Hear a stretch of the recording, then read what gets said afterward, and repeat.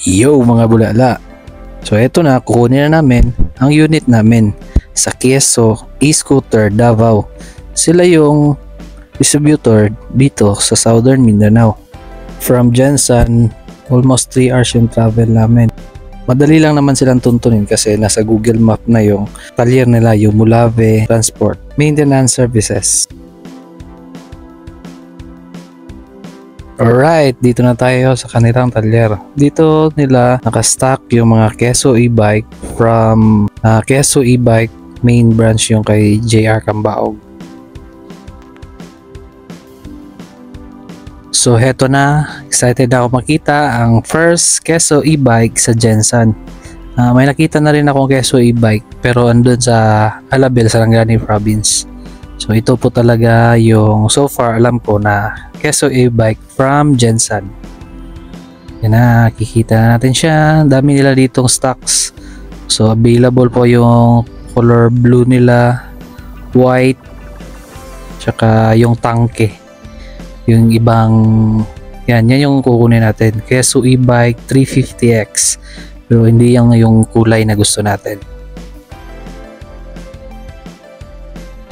Ito na yung Kesong Kahel o yung Keso Orange. Yan yung tangke, yung tabi. Yan yung tangke. Ito na yung keso ko. First e-scooter sa Jensen. Keso brand. Dami na mga available sa market pero ito talaga yung gusto namin kunin at malaman natin kung sulit ba talaga ang Keso e-bike. Sulit ba siya yung presyo niya versus uh, yung maintenance, lifespan, durability, uh, speed, overall performance nito.